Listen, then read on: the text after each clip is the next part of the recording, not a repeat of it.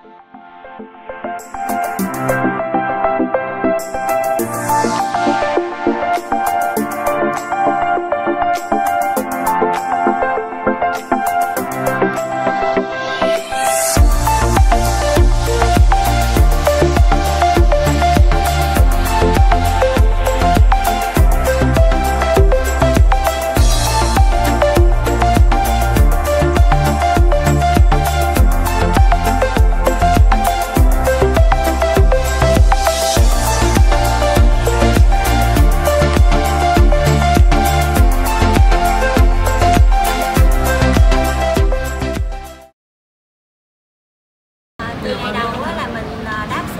Bay Busan. Sau đó thì chúng ta đi tham quan uh, ngôi chùa Đông Hải Lâm Cung.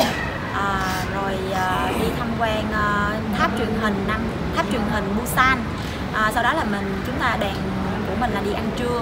À, và chiều đó thì à, đoàn của mình là đi tham quan thêm một ngôi chùa nữa.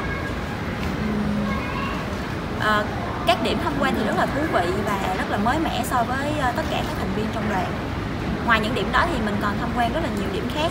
Như là ở Seoul thì mình đi tham quan nhà xanh của tổng thống rồi à, tham quan à, à, tham quan bảo tàng dân tộc rồi bảo tàng dân gian rồi mình còn tham quan à, rất là nhiều điểm. Ví dụ như là tháp truyền hình Nam San là cái tháp truyền hình đó là biểu tượng của thành phố Seoul. À, rồi à, mình còn đi tham quan là ở Busan thì mình còn đi tham quan chợ cá là chợ hải sản lớn nhất ở Hàn Quốc. À, bán rất là nhiều loại hải sản tươi sống À, ngoài ra thì à, mình còn đi tham quan như là quảng trường Quan Hamun rồi đi tham quan à, cung điện Gyeongbok cung rồi à, mình đi tham quan à, à, rất rất là nhiều điểm mà mình mình không không thể nhớ được hết trong một lúc luôn. Ồ, đây Tại là cái, rất là nhiều cái chương trình này là đi tham quan rất là dày đặc Ok, cảm ơn bạn rất nhiều. thật ra thì món ăn người Hàn Quốc thì hơi nhạt so với món ăn Việt Nam của mình nếu như mà mình thức món ăn Hàn Quốc ở Việt Nam đã thấy cái sự khác biệt rất là lớn. Đó là món ăn Việt Nam thì đã lai tạo giữa Hàn Quốc và Việt Nam nên là gia vị rất là nhiều, nhưng mà người Hàn Quốc thì chủ chủ yếu là người ta tập trung vào sức khỏe nên là gia vị trong cái món ăn rất là ít.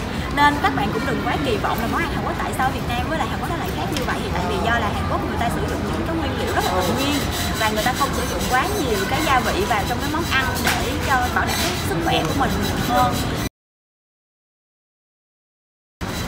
Ờ, đối với ờ, local guide là chị ờ, Lài á thì chị Lài rất là nhiệt tình và chị Lài cái sự hiểu biết của chị Lài rất là sâu rộng và chị Lài còn nói chung là những không chỉ những điểm tham quan mà về lịch sử về văn hóa và về những cái món ăn hay là những cái uh, mọi người muốn shopping những cái món món hàng gì đó thì chị Lài đều biết và chị Lài, Lài rất là nhiệt tình. Thậm chí là chị Lài còn làm uh, thủ tục là hoàn thuế cho mọi người để mọi người không mất thời gian khi ra sân bay luôn.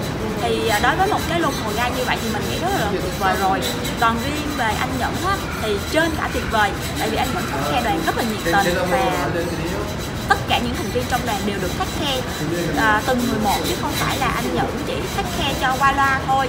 Thì đến cả đêm hôm á thì mọi người có cái trouble gì thì anh Nhẫn cũng vẫn uh, giúp đỡ mọi người rất là nhiệt tình.